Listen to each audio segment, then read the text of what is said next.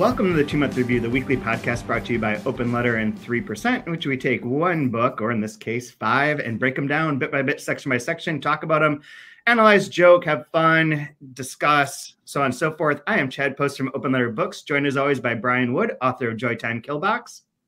Uh, good to be here. Just came from my barista job. Um, I was doing unicycle lessons with some other hipsters, and uh, this is the this is the outfit they make you wear for Unicycle League that I'm a part of. there, it's it's strange that there is like a weird unicycle faction here in Rochester. is there? yeah, there is. There used to be on campus. There's like a club, and uh, Kai, were you? Did you see that happen? Also joined by Kaija, by the way. Kaija Straumanis. I'll bring out our other co-host, Kaija Straumanis. Uh, editor of Books, uh, translator from Latvian, so on and so forth. So on and so forth. So filler, on so forth. Filler in of no one else showed up this week. Boom. um, the uh, the no, Kaija did see a unicyclist trying to go through one of the doorways here in the hall, and it just derped. just like went I had a student that took a header on one of those uh, electric one wheel oh. thingamajigs and was like out for yeah, I broke my collarbone and scraped my face up. Well, yeah, that's what you get for riding an electronic unicycle. Yeah, you're an adult. Have some respect for yourself. I, I, can't understand the physics between but, but behind any of that, so I'm, I'm, I'm with you. Anyways, so we are we can banter some more, but just for anyone listening, we are this this season talking about Ann Quin's oeuvre, and we're at three, um, her second novel that was published. And we are talking about the whole thing today and finishing it off. So, this is the story that we began last week. Just to recap um, where we were that S has died, um, apparently of a suicide. She's a, a, a woman, um, young woman who was involved with a couple of like sort of middle-aged uh well i don't know not middle-aged i mean the guy's about to turn 40 i think so like I mean, very he she's very young. They are young, um, young couple uh, that is kind of middle class bougie, and she was involved with them maybe sexually and in other ways, uh, doing mimes and whatnot. And they are sort of going through their life trying to figure out in a way uh, why she killed herself, looking through her journals, her diaries, her uh, videos, her recordings, and sort of dealing with their own, I don't know, life and and sexual relationships. So that's pretty much right. That's yeah, in the ballpark. Everything ends with a question mark inflection. All those statements. I mean, it's it's it's it's tough because it is in, intentionally ambiguous in like a number of points throughout the book, and the ending is doubly intentionally so, which I know is something that you want to talk about, Kaija, but I don't know if we want to start there, if we want to start with like just general impressions. So since you were the the new guest the this week and haven't had a chance to talk about it, what was your experience reading your first Ann Quin book? And specifically, what did you think of three?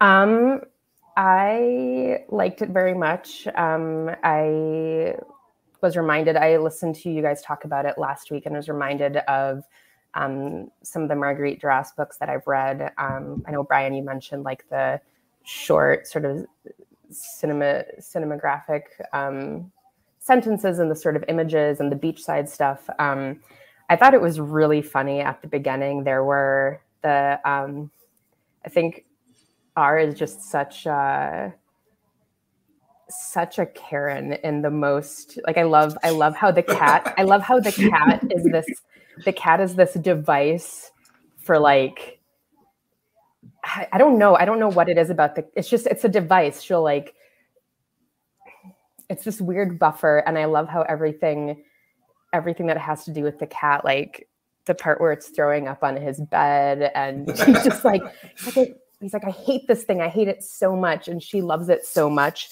Um but it's this uh, yeah, it's it's this weird device that she ends up using. Anyway, um, I thought it was I thought it was really great. I liked it. I thought it was very funny at points. I thought it got really really dark um, in the second part, and some of the things are really hard to swallow. And I think it speaks to a lot of um, just sort of a lot of paranoias and neuroses that I think anyone has in terms of relationships. Of like um, even us talking about it and like in in her diary. Um, and yeah, it was I'm just I'm the second part sort of screwed me up um, mentally in the head, uh, but it was it was fantastic. It was really really great. Um, can I say my hot takes now, or or should I? What should I do? Just give Brian a chance. What did you think, Brian?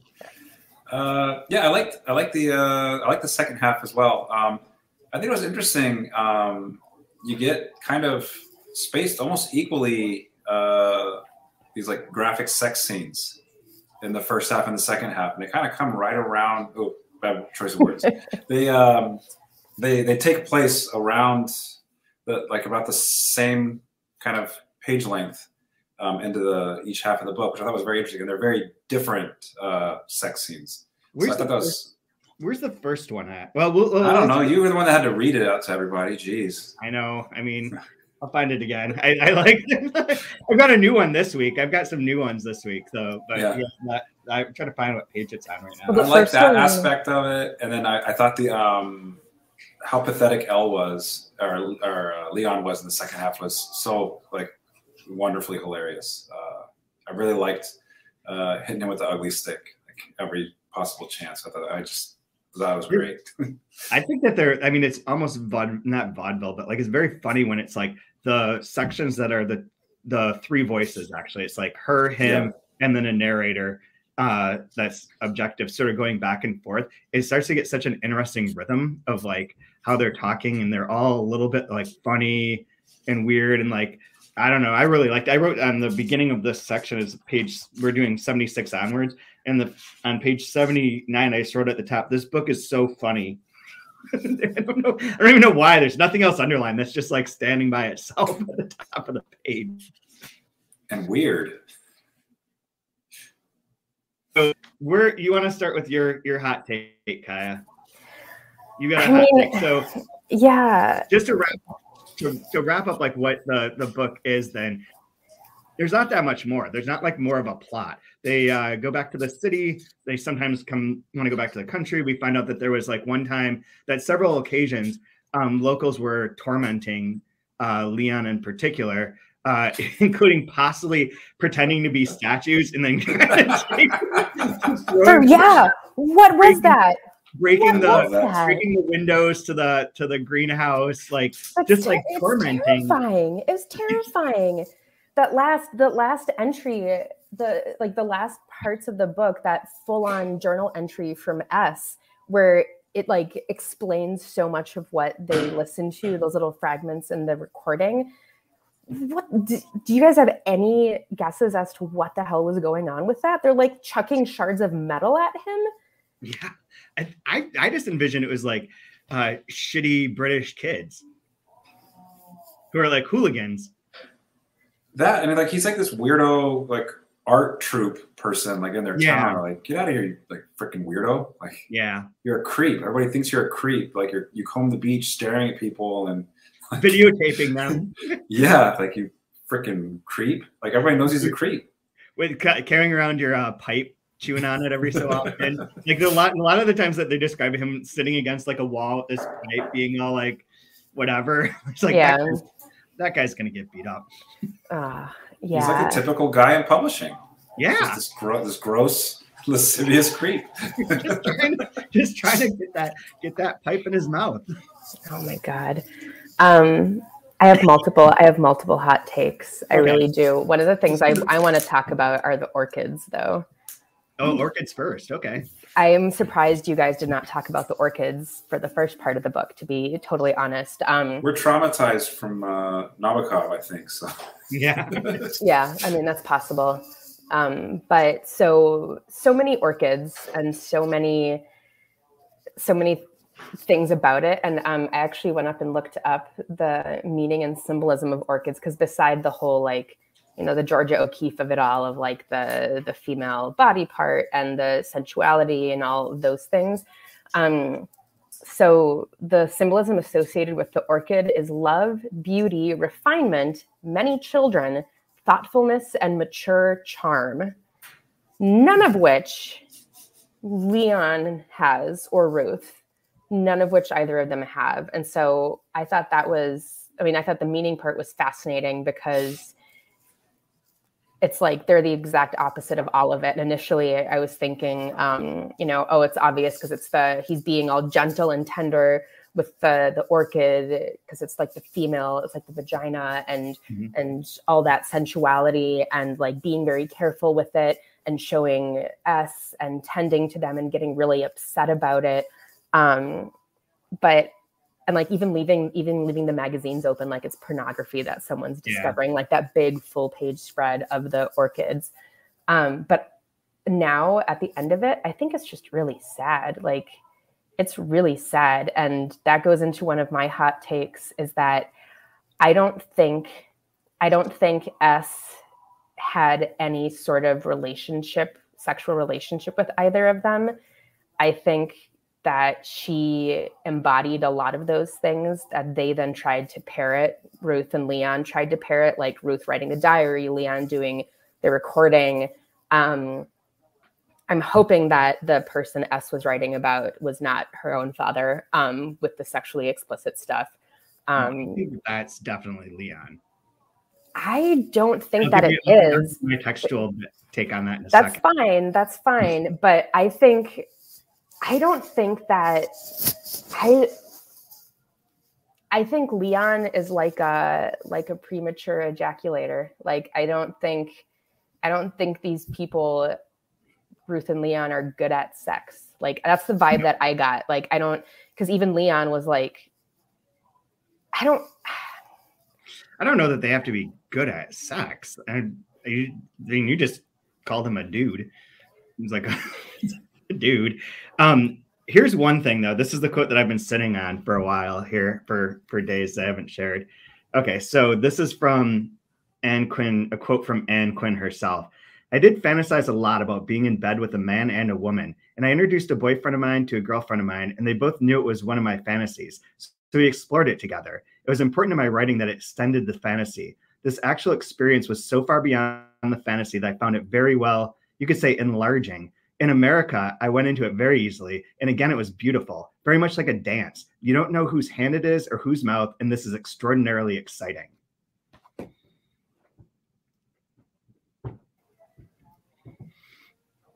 But that's that's her. That's Ann Quin. That's not yeah, related to your statement. that's the Ann Quin thing. So I, I, do have more that can build off of that. I mean, I can get to the statement why I think why I think they did in a second. But um, but I think that this this book is intensely personal. I think for her too. She mm-hmm. was supposedly involved with a, or I forget. It's in uh, it's in a ebook. I don't have it in front of me, but um, she was involved with a couple for a while, and there is assumptions that this is about Alan Burns and his wife Carol, mm. um, who she spent a lot of time with in America in a similar sort of situation in which it was like to sort of upset the the mores of the time and to like do something that's like a little transgressive or to treat like in in uh other ways like that it's not it's it's that that there's other ways of like of pairing off people and having like this this she's like way into thrupling but um the the textual thing so she so that all this about her dad in here is like very mirrors her her life um there is something that I'm jumping all over the place, but there's that new bio on Kathy Acker that comes out tomorrow. Um, that it has like quotes about how she was like, "Well, I'm not one Kathy Acker, I'm many," which also seems to re- be reflected in Ann Quin's life and in, in this book. Um, and there is one one thing that I read that had like used a lot of the symbolism of it in that each one of the characters is trying to become something. They can only become something if they're like facing or dealing with the mountain, where she goes and kills herself in the lake. That the sea is very reflective of like a certain sensuality, but also of a self. That the masks that they constantly wear and talk about the masks a lot. Um, like that, uh, and she even says like, "Oh, I don't know if Ruth's wearing a mask with me or with Leon," um, but they talk about masking and trying to find their identity through those plays in which it's like all kind of two people leave one, one leaves two, they all leave each other, they all get together together. Um, but that those those elements, the sea also where the sea uh, is has a, a break wall. So like everything that's on the other side of that is like human life, like it's detritus. Like they talk about all the gross trash that's over there, but like on this side, it's like sterile. Um, and their relationship is sort of sterile. So my reasoning why I think that they did is that when she talks about the one that my my favorite one, my favorite sex line here this week, Chad's favorite sex section, um, was it like this with never before, not like this. No one has touched me ever, never, never like this before, like waves, the coming slowly, dual roles realized. Yes, yes, yes. Be a boy if you like anything, just be. But then earlier, Ruth is like, well, she must have had sex with someone who like talked dirty to her. And that's referenced then when Leon is like raping uh Ruth, there's like more towards that end of like the dirty talk side of things, which I think Ruth has seen through S, who has done it with Leon. So I believe that is the that is a circle that I think that they have that I, I'm I would be hard it would be hard pressed to convince me that that Leon and S never bone. I I would have agreed at the beginning, but for me by the end of the book, because there is like like there there's so many moments where Leon is trying to be some like a different version of, of himself through what S has said about men and Ruth trying to be a different version of herself. Like like I said, she starts writing a journal, he starts recording.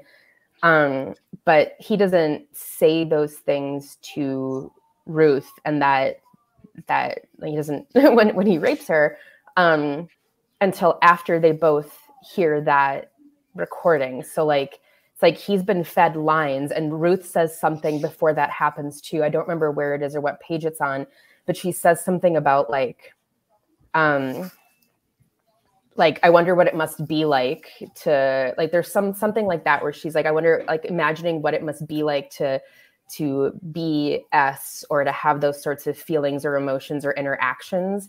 And that's why I think that Leon being just bad at reading the room and bad at intimacy does that because he's like, well, like part of him thinks that that's what she must want because they've been reading S's diaries and listening to these recordings. Um, and so yeah, I I would I would have agreed with you in the first half of the book, but at the second half, I like I think they both I think both Leon and Ruth would want it to have been Leon, but I don't think it was. I don't know, Brian.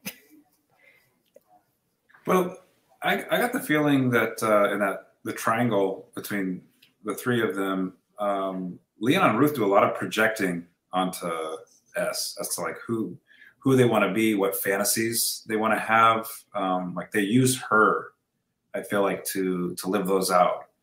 Um, I, and it didn't really dawn on me until L or Leon was out of the picture for a little bit, and Ruth changes, and uh, S notices it quite a bit, and was kind of happy to have Leon be gone for a little bit, where it just be the two of them, and kind of explore what that's going to be like. Um, but then I, I, did find it interesting too that um, Ruth has a lot of uh, distrust and jealousy over whatever S and um, Leon had. And you see that in um, on page 88.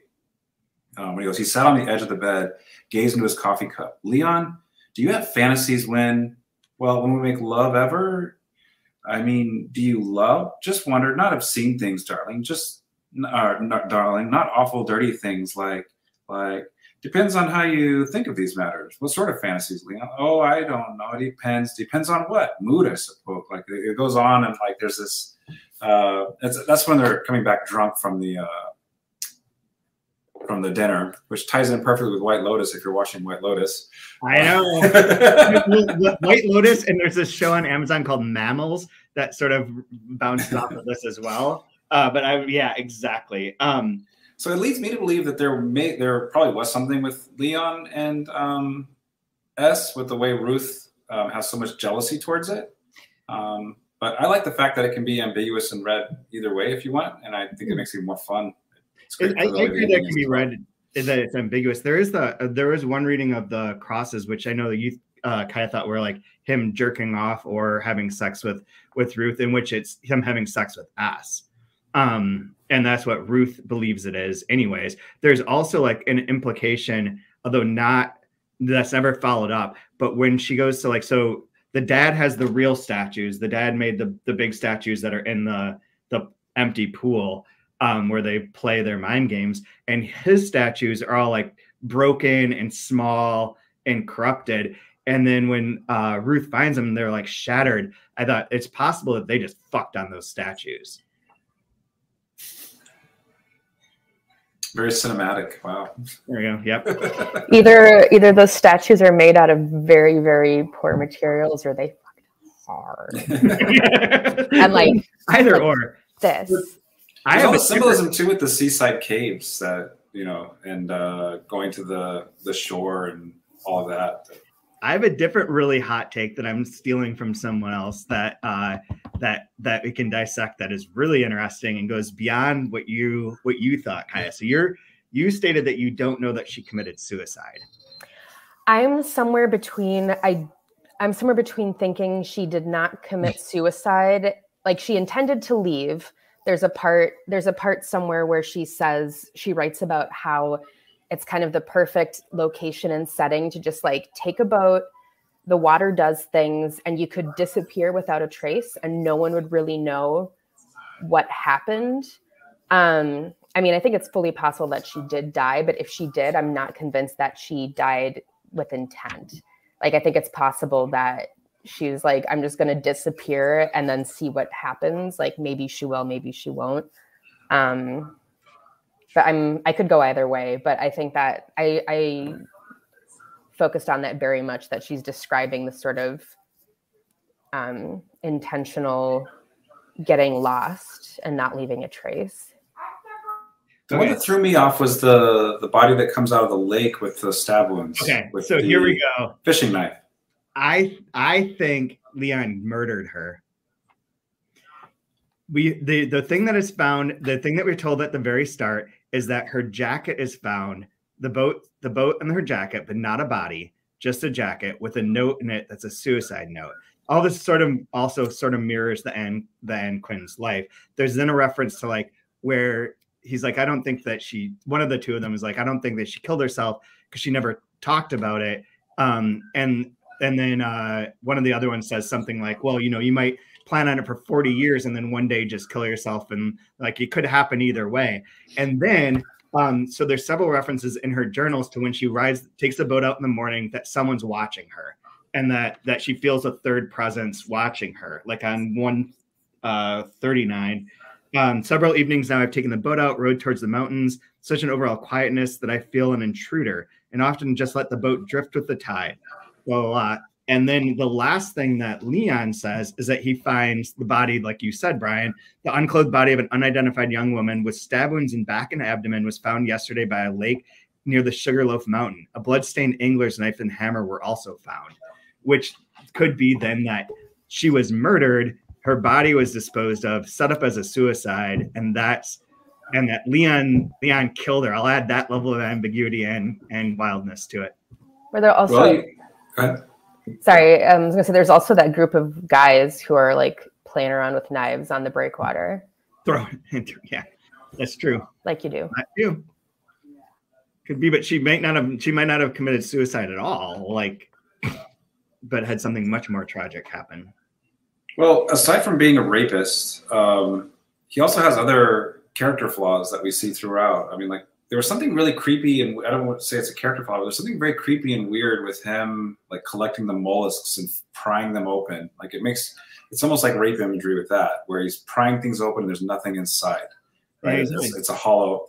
And then there's like the like his his his like fetishization with having a crab and like the and like other dead animals um, throughout it. And then it makes you think with like smashed um, smashed uh, sculptures, right? Like there's like hammer imagery that you have to have with that as well. Yeah. So you have like this knife and you have this hammer, and then you have the you know it means a. It's all for USSR. I think it's a giant uh, hammer and sickle. It's clearly the pro I mean, he then, is he is interned interned during the war, so like. And then my my favorite one though is he gets the shit beat out of him, but he's totally fine. But he insists on wearing bandages and going around like playing a victim, right? Like this like huge victim, and he's kind of lurking around. People see him looking at other people in the balconies, and they scream or whatever. Pe people know he's a creep, people know he's he's he's strange. He's no good. Like it's it's known.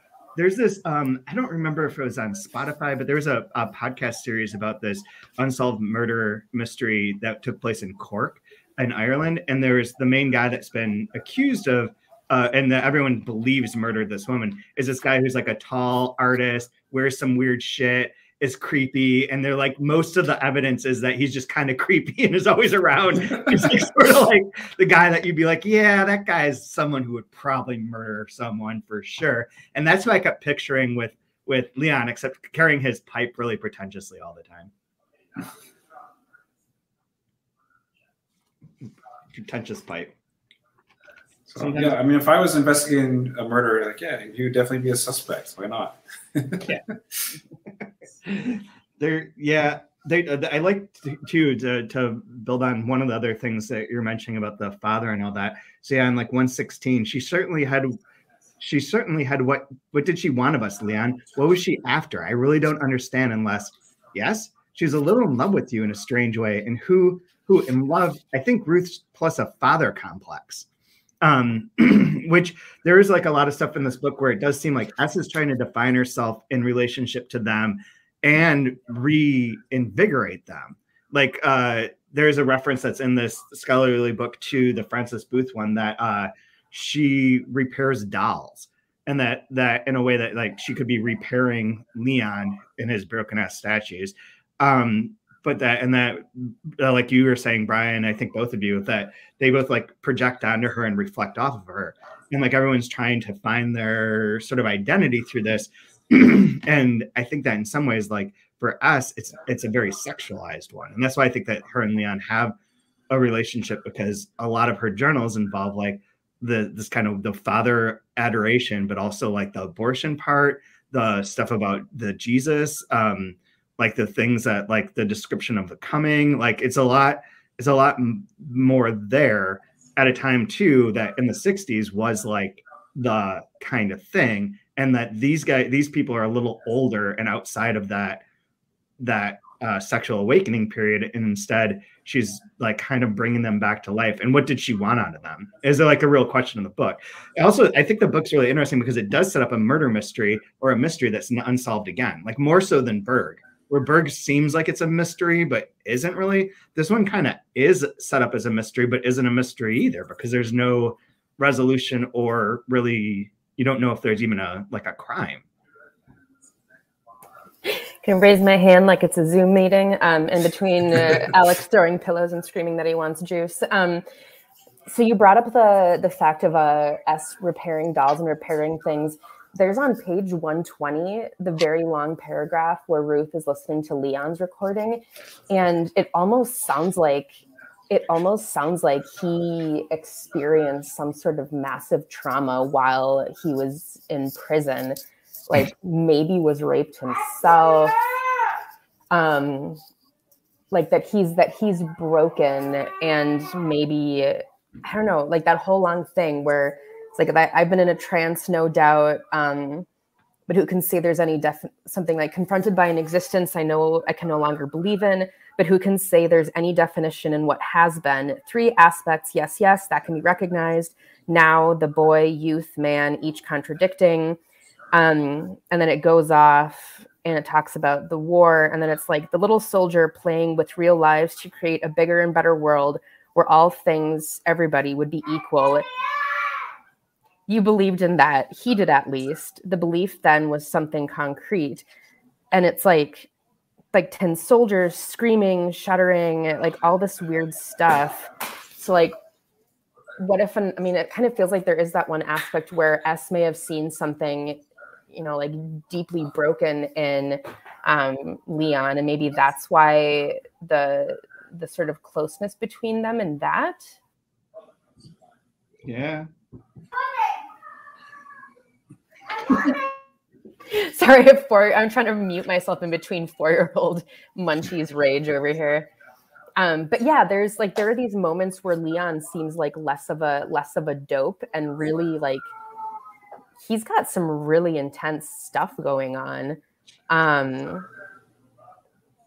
yeah, like on the next page, even in that cell, solitary confinement, when time became meaningless, Even there, I had the part to play out. The boy who saw himself the man with a cause, not necessarily disillusion. Oh no, it never came to that. There is her writing is so fun in the way that it does. Like it can be very like telegraphic at times, but also like uh, it transitions in the middle without with missing like commas or things that you would usually use as like cues to switch voice or to like split the sentence. Um, I think that's always it's kind of fun. I've got one more if we're doing this Knives Out murder murder investigation. Yeah, murder um, investigation. Let's do it. On page on page one thirty seven. So it says, apart from a few bruises and a black eye, L had not been badly hurt. He insisted on wearing bandages round his head. He went to the police station later in the evening, handed over the glove, and made a lengthy statement. He returned convinced they were mad there too. He felt they hadn't really believed him, kept giving each other knowing looks, winks, as if I'd go to all this trouble of making things up, he said, while sticking parts of sculpture together. You've got the cockerel's head back to front, R pointed out. Its bronzed eyes now stare from the terrace at the house. Like so that. like the yeah, he's the he's the he's got another story for us. You're like wink, wink, whatever. Get out of here. But the thing that I find interesting is the idea of the putting the sculpture backwards, and now instead of looking from the house out to the terrace, it's looking at the terrace back to the house. Like that's why some of these things where the like the local kids coming at him, it almost seemed it seemed like a like hate crime. Like you know, like he, if he's homosexual or bisexual and they're or worse, socialist. Or yeah, or worse, socialist. I mean, there was that whole thing about like the traitor being a traitor and all that stuff. But um yeah, like it's like once you read that last entry from S and you get all these extra details, it's like I it's so kind of heart wrenching. It's it's awful. People are awful. Which part are you when you say the last entry from her? Is there a specific part there? Um, I think I'm talking like the last. Um, it's like the last part of the book. Yeah, where, the, last, section is her law is like stuff from like Midsummer's Eve. Yes, yeah, like that part where you start to it starts to fit together some of the pieces of the things that um, we've heard those little like uh, snippets um, of the audio recordings that they listen to, and this kind of fills in a lot of those blanks and gives a totally different perspective. Mm-hmm. Yeah, I was seeing if there was like a specific paragraph or, or section, but um, no. I mean, it is. They are at Sugarloaf, where that body is found. That is undeniable. She referenced it on the last page. And behind me, the morning I this morning I got up early and went for a walk, crossed over the breakwater and several others. Behind one, a party of cripples lay. A few men without arms were in the water. Some sat in pools. Behind them, rising out of the mist, I could just see the peak of the sugar loaf as though floating on its own. Um, again, well, there's another. There's a lot of dismemberment and like the things that are half broken or cracked or or dissolved and there's another not to say that i mean you know no disrespect towards the otherly able but the way that it's written there of like those without arms sitting in pools is kind of a weird uh, way of describing that yeah all this broken stuff like i made a note um yep um and he has to go pee. Um, so I had a note from page 142. Um,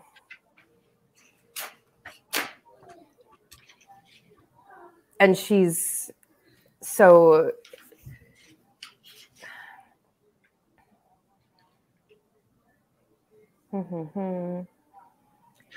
So she okay, so halfway down page 142 where S is talking about like L got back earlier than expected. Um, and then she talks about the night they spent in the hotel, which could be, couldn't be, but the smell of our bodies, drink tobacco, pretending to sleep. Um, but then she goes, it says, but the sense of touch, fantasies re explored. Or was it like, Get Oh no! At and at and at night under a single sheet, I remember other nights spent in the hotel, the curtains drawn, and I that's where I didn't um where I don't um where I don't I'm not sure if she's talking about like the note I basically have is that there are so many parts like that where it's like very subtle shift in the sentence where it's like remembering another time or remembering other fantasies where the it leads me to believe like S came out of some sort of very intense and raw relationship at her young age into this kind of living situation with Ruth and and Leonard um, and that she's seen and felt things that they could only imagine um, and B B three now and incest. yeah. mhm. Whip me with your hair. Let me come between your breasts and your mouth, ear, hollow of your back. Hair on his chest burnt with a cigarette. So there's there is some there, there's a way to do that. I also think that there's references to like going in and out of the hotel, knowing that it's not that she's not his wife. There also is like a sly reference somewhere. I'm not sure I'm going to be able to find it to like when Ruth references him going away to his various conferences. That maybe this is like more serial uh, uh, fair having than it is simply with ass. And that that all those crosses, she's like, you weren't even here. You were at a conference. Like that also seems like a possible read on the whole thing too. Anyways, is really naughty. I did think I like I like I like Ruth gets a little more Ruth gets a lot more sympathetic in the second half, but she's still a pretty ridiculous like kind of uh figure at most for most of the book. Like, She's such a two face, such a Karen. She's like, oh, go out and get some meat for my dear little Bobo, and then watches out the curtains. And the second he's gone, she's like pouring out the whiskey, putting on the dresses. masturbating with S's clothes on. Yep, yep, yep, yep. Um, yeah, That's- she's That's living her best. She's living her best life. Any more sex scenes? Listening to Goodbye Horses by The Cure. That's what I do whenever I get a single moment alone, you know. oh my god. That's a Silence of the Lambs reference to our younger viewers. I don't know if you've seen that movie or not. Uh, No, they've only seen Hannibal, the TV show. All three seasons. oh man i don't know. I don't know what else to, to say with this. I thought there's like some interesting the the francis booth book is pretty interesting in terms of talking about like different reads on it and like the the sort of symbolism. Um and then i like like the kind of the the style of it and the form that's being used here. And like what you said brian of like the sign of symmetry between those where the things are placed and like how it involves these three components over and over again and really is like obsessed with that to the point where it is on the sentence or in the paragraph level that it is switching, switching, switching. And then there'll be the a new paragraph that's just Leon and a paragraph that's just Ruth, and then back to like the two of them with this third voice inter interjoin. It's it feels so much more controlled than I think the first time I read it, where it felt like it was just like, you know, someone doing some crazy weird writing shit. Like it feels a lot more plotted or like uh or intentional than it did uh 20 years ago. Yeah, I mean, like sort of like a dramatis personae. It's it's very uh, I don't know. It's extremely dramatic and like a play when, when Mhm. it with the the three central characters. Their the voices sound really crisp at times. I mean, in some ways, it's almost like the beginning of it is like stage direction, right? It's in Yeah. It's in italics. A man fell to his death from a sixth floor window of Prescott House off the Off Square today. He was a messenger employed by a soap manufacturing firm. Ruth said it from the newspaper, like you know, we get stage answer stage left, know. I have two of those right there. Ruth startled from the newspaper by Leonard framed in the doorway, which is another way that you could envision like the play Mhm. of it, of her like looking up and him standing in a fake doorway on like a stage, which ties in their whole miming thing too, and other like masks and uh whatnot. Interesting. Yeah. I just looked up uh, orchids in the UK because I was thinking maybe there was something um, in keeping them in a greenhouse, but there are 52 different species of wild orchid that grow in Britain. So like these are not necessarily flowers that need to be coddled and kept in this greenhouse that well that that's where I think too that a lot of this I I you know I think it was with this one that we talked about the Pynchon entropy story, right? Mm. Or was it or was it that with Berg? But it's a similar sort of thing in which like he's got this this the greenhouse keeping things in there. Their relationship is kept within these bounds. Everything is like sort of structured that way.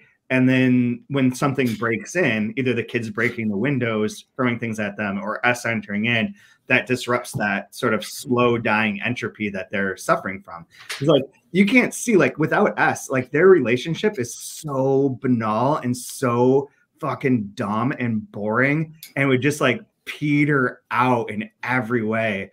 It seems like to me, like they seem like uninterested and uninteresting, and like she becomes their one source of conversation sort of like so one of those uh, quotes I remember, but I don't remember anything else from the movie of like four weddings and a funeral. But I feel like there's some line in there where someone says, "Oh, well, the reason that you have babies is because you don't have anything else to talk about." And they don't have babies. And they and, don't uh, have babies, so they end up having. But here, here's a more fun botany one. If you want to go down a botany uh, rabbit hole, was the man? There's a mention of a mandrake sprouting. You don't have a mandrake sprouting between your legs, right?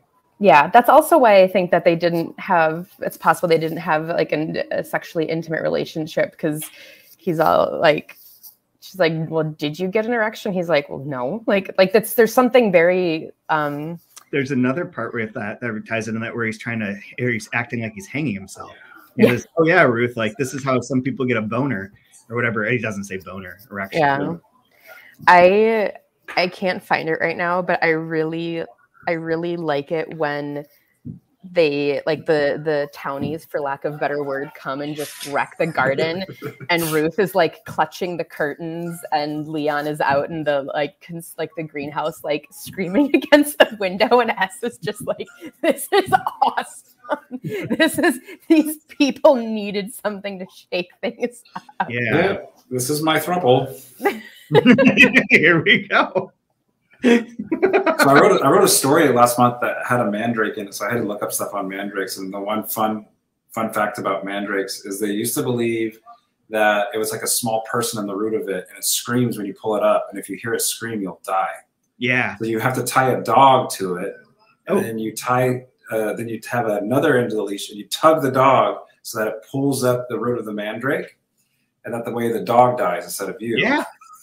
There, I feel So, duh. completely fair. Yeah, that's that's how I do my mandrakes. Hey, can I borrow your dog? Why? Don't worry about it. my other one died. there must be a horror movie called Mandrake. running out of dogs yeah. Yeah, that's like the that's the uh um the the B side Harry Potter. Uh that's the only place I know mandrakes from. Oh, Harry really? Potter and a placenta so- buried under the mandrake. Because you're supposed to bury a placenta under it. So, yeah. Yum. Um, I don't know. Anything else you guys want to touch upon that we didn't? Or questions? I love the cat. I love how much he hates the cat. This one he's trying to like, yeah, he's trying to fuck that cat up. And there's even the one line where that's my line of the week. We could just jump to that. If It's I like. I get it. It has worms. You don't have to tell me three times. Yeah, the cat. I get it's called three, but you don't have to tell me three times the cat has worms. I'll remember it the first time. My favorite line of the week is just "fuck the bloody cat." There you go. oh man.